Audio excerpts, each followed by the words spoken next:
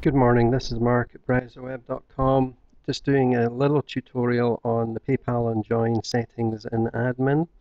So what we're going to do is we're in admin home right now, we go to modules and we're going to slide down and look for payment and assuming that the payment module you've already activated.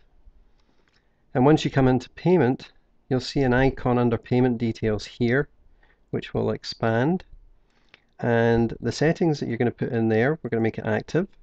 So the, mo the mode live is fine.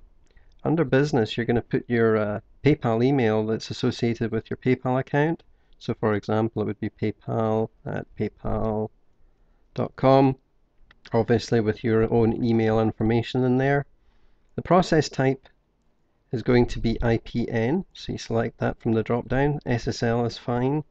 Now the identity token you need to log into your PayPal account, go to profile and then go to uh, website payment preferences and under there you're going to see um, uh, where you can turn this on and it will provide you with a PayPal identity token.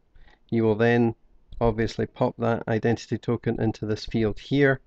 Uh, we're not testing in the sandbox so that can be ignored and hit save and that's how you set up your uh, payment details to make sure that you receive your payments uh, to your PayPal account uh, for this particular module.